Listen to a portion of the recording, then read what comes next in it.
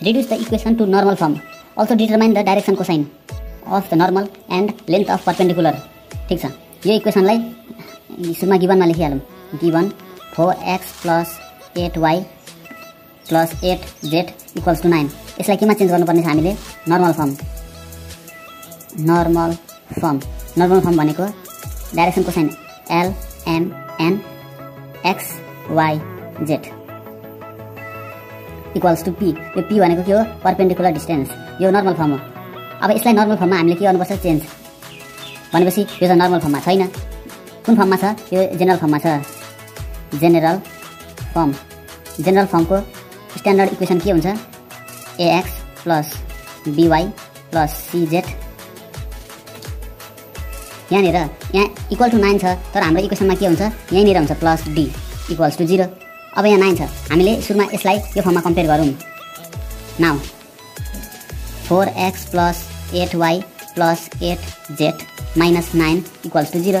यसलाई वान भनौँ comparing comparing equation one with यो general form with general form. Direct value निक्लिन्छ।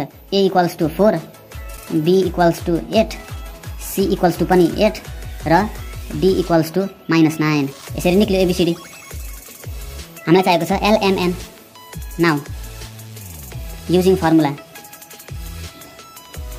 formula कसको? Direction कोसाइनको L equals to A divide by under root A square plus B square plus C square formula यही हो।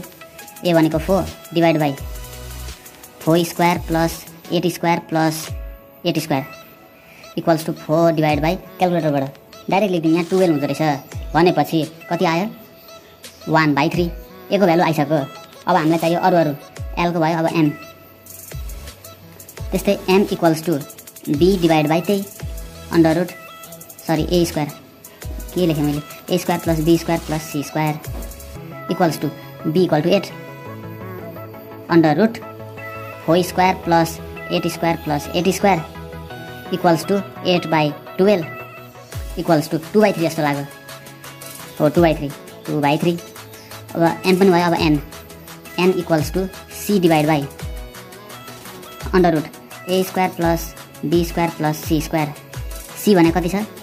At divide by यो त सिधै थाहा छ हामीलाई टुवेल्भ लेखिदिइहालौँ यो भनेको टु बाई थ्री अब पी पनि चाहिएको छ। Also P equals to perpendicular perpendicular distance.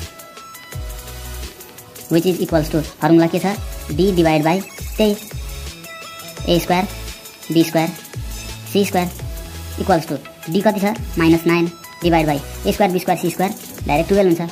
अब यो कति आउने भयो हाम्रो? थ्री थ्री जा नाइन थ्री फोर जा twelve minus three by four आउने भयो। अब पर्पेन्डिकुलर डिस्टेन्स हामी के लेखौँ?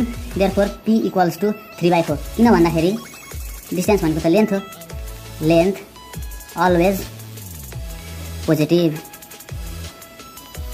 यो यति भयो एलिमेन्टको भ्यालु आयो अब हामीलाई चाहिएको छ normal form so normal form is L कति छ एल वान बाई थ्री ओहो यहीँ लेखिदिउँ यहीँ सजिलो one by three into X plus M कति छ two by three two by three into Y plus N फेरि two by three two by three Z equals to P P equals to three by four three by four अब यसलाई अझै मिलाएर लेख्दाखेरि यस्तो लेख्न मिल्छ।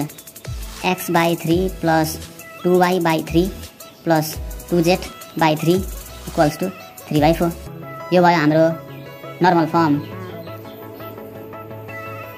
यो नर्मल फर्म भयो। अझै अरू पनि सोधाएको छ। डिटरमाइन द डाइरेक्सन कोसाइन राम राम राम। एलएमएन यही हो डाइरेक्सन कोसाइन भनेको। अब यहाँ डाइरेक्सन कोसाइन निकालौँ। एलएनएन इक्वल्स टु एलको भ्यालु आएको थियो one by three one by three कमा एमको भ्यालु टू बाई थ्री एमको भ्यालु पनि टू बाई थ्री डाइरेक्सनको साइन पनि आयो। अर्को सोधेको छ perpendicular length of perpendicular P equals to भर्खर निकालेको छ थ्री बाई फोर युनिट्स यो पनि आयो। सबै थोक आयो। औ